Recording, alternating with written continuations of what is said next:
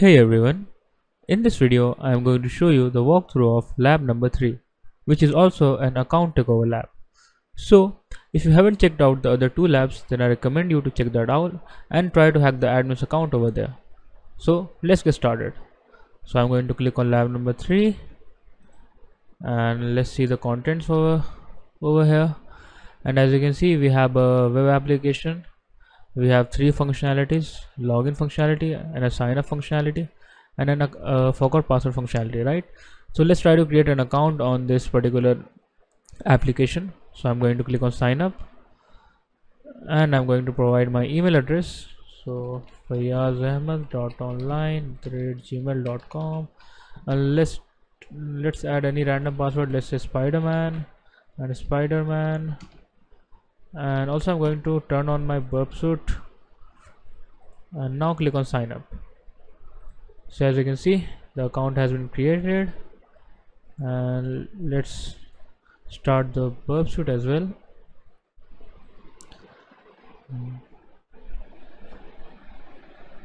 Let me turn on the turn off the intercept.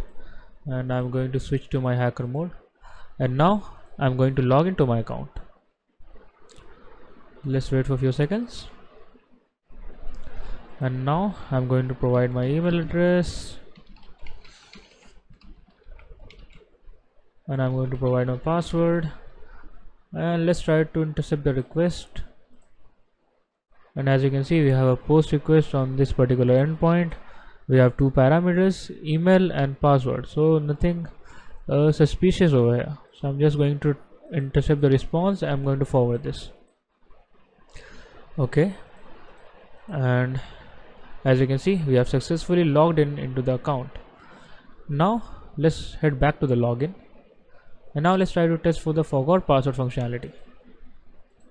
Here they are asking for the email address which you have used while signing signing up in this web application. So i'm going to provide that. fayazahmad.online at the gmail.com i'm going to turn on the intercept click on send and as you can see we have a json request over here right? So this body is in json format. Now i'm going to intercept this response. Let's wait for a few seconds. And we got some response over here. And as you can see it is showing that OTP sent successfully. Now click on OK and now they are asking for OTP verification. So we have another functionality over here which is an OTP verification functionality. Now I'm going to my email. And as you can see we got an email over here. Let's copy this OTP and let's try to paste it over here. Click on verify. And as you can see we again get logged in into the account. Okay. So now we have understood the forgot password functionality. Step number one. We have to provide the email address. Step number two we have to verify the OTP step number three if the OTP is correct we'll get logged in. Cool. Now let's try to test for vulnerabilities in the pa password reset functionality.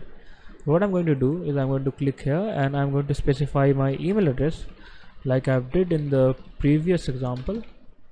And now before clicking I'm going to intercept the request. And now what I'm going to do is I'm going to change this email from fayazahmadonline at the gmail.com to admin at the rate bpractical.tech I'm going to do that here.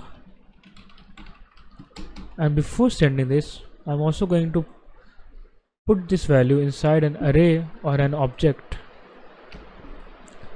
and, I, and I'm going to pass another value over here which is my email address. Fayazahmad.online at the rate gmail.com and now let's forward this request.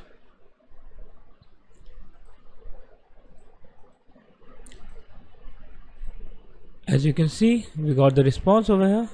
I'm going to forward this and it is showing that OTP sent successfully. Click on OK. And we again got the OTP verification page. Now let's go to our uh, email at uh, gmail. And now as you can see we got another otp over here. Let me close this. This is the new otp that we got. And now let me copy this. And let me paste it over here. Click on verify and as you can see we successfully got into the admin's account which means that we were able to hack into the admin's account without proper authorization. So this vulnerability is also very common in real world websites. You can find this vulnerability whenever the password is set functionality is taking an input in the json request. It is possible that you might uh, get this type of vulnerability by doing the same steps that we did in this lab.